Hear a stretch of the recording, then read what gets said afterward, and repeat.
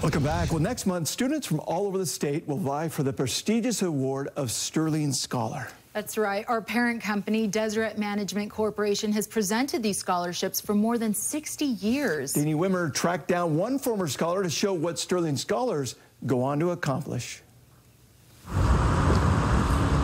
Walking to engineering class at the University of Utah, Wyatt Many Goats is far from home. I think Indianapolis, since like our traditions and our cultures hold us close to our family. It's like hard to break that and hard to get out of that comfort zone. He's sacrificed for education.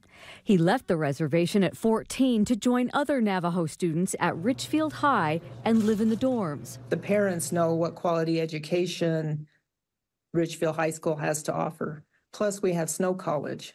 Our students can start earning college credits um, in their junior year. Okay, so we're going to go back five. So I actually graduated from college before high school, which is funny. He was named the KSL Deseret News Sterling Scholar in Science in 2023. He was a perfect example of leadership, service, had great academic goals, and he always worked hard to achieve them. He's the type of person who who sees the American dream, if you want to put it that way, and he sets goals and then he just takes his goals and hits them head on. Richfield teachers weren't surprised when he was accepted to Harvard's pre college program.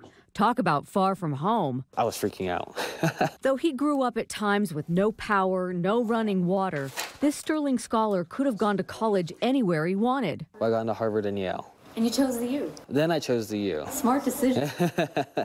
Here in his dorm hangs the sweatshirt of his little nephew, and it serves as a reminder during all these nights of hard work far from home that he'll one day return to help his people on the reservation. I think I can make a difference being that one engineer on the reservation. Like I live on the reservation and I understand what people are going through and I have family members that don't have like running water or electricity or even like uh, a road to their home. He plans to change that and hopes his path to a degree can eventually be his road home.